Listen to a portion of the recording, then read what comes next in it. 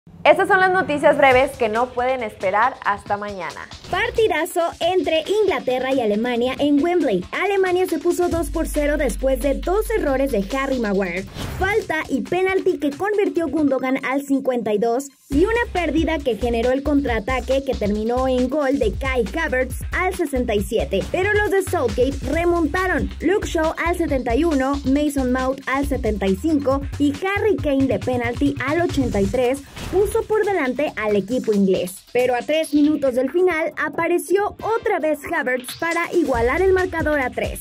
Realmente, todos los goles que concedimos fueron evitables, y estamos 2-0 en un momento difícil. Pero debo decir que los jugadores han estado fantásticos en los últimos días. Han asumido cierta responsabilidad individual, dijo Gareth Southgate, entrenador inglés, luego del empate a 3. Además, anticipó lo que podría pasar en el Mundial con sus dirigidos. Creo que toda la experiencia nos sirve para crecer como equipo para lo que viene, porque vamos a tener presión en la Copa del Mundo y tú puedes tratar de evitar la presión, pero igual vendrá. Ya sabes, Tal vez sea en el tercer partido del grupo, tal vez sean en los cuartos de final o lo que sea. Así que es mejor que lo sintamos ahora y aprendamos a lidiar con eso. Con el gol de hoy, Harry Kane llegó a 51 anotaciones y está a solo dos unidades de alcanzar a Wayne Rooney, que tiene 53, como máximo goleador de la historia de la selección inglesa. El virus FIFA sigue atacando. Esta vez fue John Stones quien tuvo que abandonar el campo al minuto 36 del primer tiempo con una aparente lesión muscular el defensa del Manchester City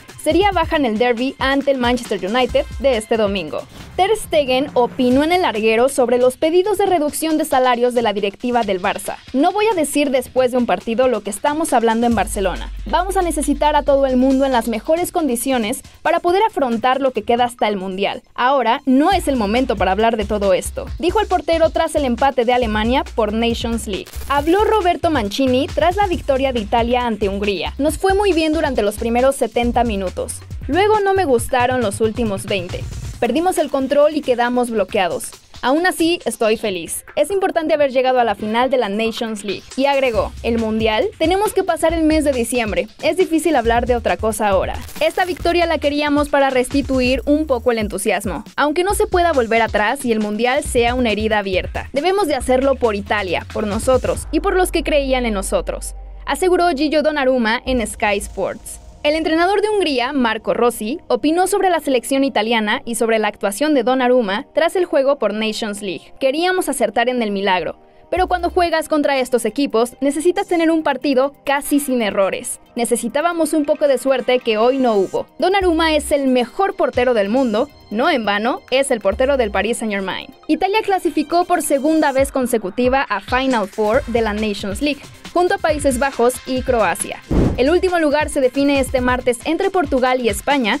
Los de Luis Enrique están obligados a ganar para clasificar. Luis Enrique cree que España se juega una final ante Portugal. Preparo el equipo para jugar una final y voy a sacar el equipo que yo considero mejor para mañana meter en muchas complicaciones las máximas que podamos a Portugal.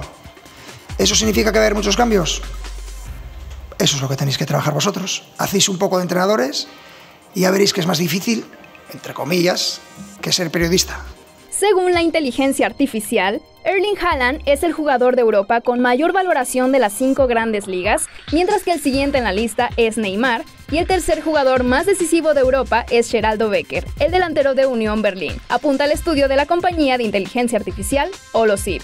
En la alineación titular de los jugadores reconocidos por la inteligencia artificial, no hay ni españoles ni jugadores de la liga. Estas fueron las noticias breves que no pueden esperar. Suscríbete a este canal para estar siempre bien informado y nos vemos en el próximo video.